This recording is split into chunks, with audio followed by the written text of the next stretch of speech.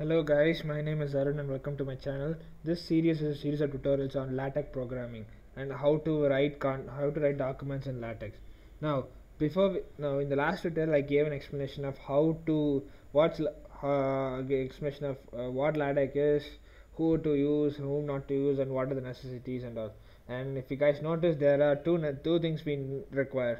Okay, one a LaTeX compiler and uh, an editor to do all the to to do all the stuff nicely.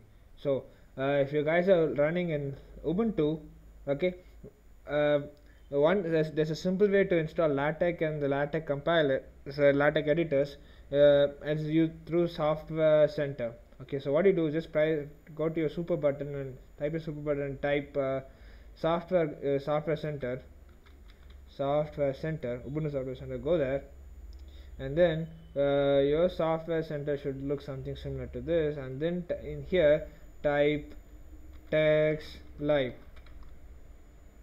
Okay sometimes TeX Live may not come. Just type this TeX Live directly. Okay now what it does is that it just you have a file like this click more info. Click more info. Okay see whether uh, see whether the files have been installed or not I mean as of now it looks nothing but it has, been installed. I'll explain uh, let's do open something else okay? Open uh, type an editor something like uh, TeXmaker okay? There are TeXmaker and TeXstudio or editor Tech, TeXstudio or no editors dedi- dedicated editors for LaTeX. Or any use open any one of them click more info okay? Now what you do when you do open that okay uh, the most important thing to do is that uh, see whether it's installed. If it's not installed okay you'll get this install button over here. And before you do that okay click on these optional add-ins and click uh, tick tick uh, select all these optional add-ins and then click install. Now since I already have TeXmaker installed uh, this it's giving me this remove option but if you guys have not installed okay uh, you'll get this install option over here. And just a reminder uh, when you are installing for the very first time the size you may have to download something close to 700 to 1.1 GB or some some amount of data some amount of files and when you install complete installing it will uh, consume about 2 GB of data something. That's what it happened to me for my my system. You might get something like that okay? Uh, you have to go with it and uh, it will take you some time. So i'm not dis- installing it here but that's how it goes okay and go about with that and uh, once you that is done your both your uh, both your LaTeX compiler and your LaTeX editor is installed simultaneously. So that's that way. Your basic you have your, your TeX compiler is ready at the same time your editor is also ready. And sometimes what you do is that if you, if you want if you guys want you can go to TeXstudio as well because because that's another good editor simple to that. Okay, and then if you guys want. Uh, you can just install it directly here. But uh, I, I mean I recommend uh, either one of these. If you guys want to use both of them more than you're more than welcome. No no doubt on that. Both of them are good. The reason why I'm suggesting TeXstudio Tech Studio and TeXmaker are that it's because of this reason. They are these are class cross platform available in Windows Ubuntu uh, Windows Linux and I guess it's available in Mac as well so it's and it's very good. And it has an inbuilt PDF viewer in it and uh, you guys see next tutorial has to what to be done. So you guys open the you guys install about with it and you you guys are done with it. Okay? Now this way it's extremely simple uh, for ubuntu users or linux users to install uh, uh, TeXmaker TeXmaker and i mean uh, the editor and uh, the compiler. Now now let's go to the windows users.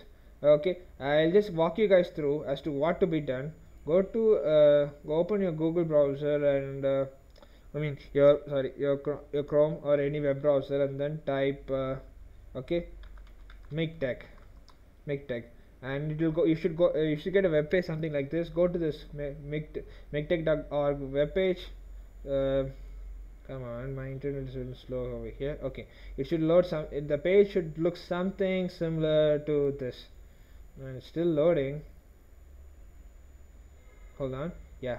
Your page should look something similar to this. Here what you do go to this downloads page okay? And then what you have is that you will have like uh, several downloads over here like recommended download other downloads and all. So what I suggest you is go to this other downloads other downloads and look for uh, this basic MikTeX uh, basic MikTeX uh, which is a 64-bit or 32-bit now if your system if you're using a 32-bit system Windows go for this 30 go for this download. Click this and you'll down you can download the file. It's 163 something MB yeah it will uh, that's how the size is. This has a basic uh, compiler with almost bare minimum bare minimum requirements of all files and all. It's available here.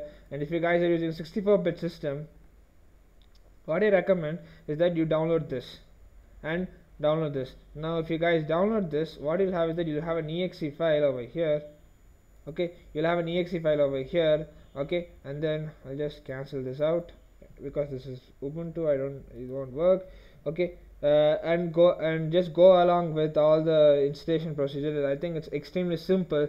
It's, you don't have to explain very hard about that okay? And if you guys uh, have some doubts and all you can you can always take you can always type uh, MikTeX installation guide. Okay? MikTeX installation guide. Just go to the first link. First link uh, it will help you guys as to as to it will give you guys a step-by-step -step installation. Ah this is good. This will this is good. What happens is that uh, I just walk you guys through. Thank god this file was already there. I thought I have to make another tutorial but this is good. Okay regardless of what uh, installer you choose mostly I prefer a offline editor offline installer. That's good. The online edit the on the fly editor which we saw previously it is very small it has it's a very small size. So what you do is that go to, go to that open that the double click on that exe page and click this accept button. You'll just get the introduction then click next. Click this accept button and then click next over here. And then click this option uh, we say say whether you want to install this for everybody in the computer or uh, in your system or just only you click either one of these options as per your choice and then click next. And then select your uh, direct uh, program directory where you want to install MikTeX and then click next. You can browse and pick, pick your choice as per your want. And then this is a small setting but uh, it's it's not necessary by default set this to be A4 because that's what many, many people will do. And if you have certain missing packages when you compile files just click ask me ask me first okay? So whether to install or not MikTeX will ask you permission ask you ask you permission before installing that. If you click ask me first or if that if you just say uh, install on the fly when you compile it the file is missing you just show an error and then it'll just show you a warning and then starts downloading from the internet and working on with it. So pick these two options a4 and ask me first and then click next. And then it will it'll just get a summary page before installing and then click start. Okay? And then what happens is that uh, there are like uh, hundreds of packages small small small files available in MikTeX they'll be installing one after the other uh, the installation of each each important package is shown by the topmost status bar I mean the progress bar on the top. As the overall package overall installation is shown by this overall progress over here. When both of them are complete uh, reach the end reach the rightmost end and when they become white it means that the installation is over and then you can press the next button and uh, you will get you will get the page similar to this. You just say the completion uh, I mean MikTeX has been installed successfully and then click close and that's it. Your MikTeX is over. MikTeX is the compi uh, LaTeX, LaTeX compiler and with this your LaTeX compiler is over. And now what you have to do is that the TeX, TeX compiler is over. Okay just a little more thing uh, if you guys want to install on the fly maybe with internet connection you can download either one of these two. 32 bit this is for 32 bit system this is for 62 bit 64 bit system. Download either one of these and run them. It'll uh, automatically download all the required packages from the internet and install them.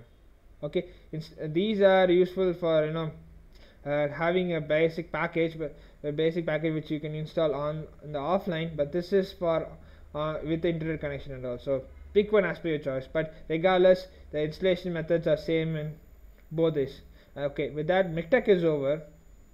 Now let's install now uh, now let's go to TeXstudio uh, or TeXmaker for that matter. Type TeXmaker and uh, okay my internet is being really uh, annoying right now. It's being really slow.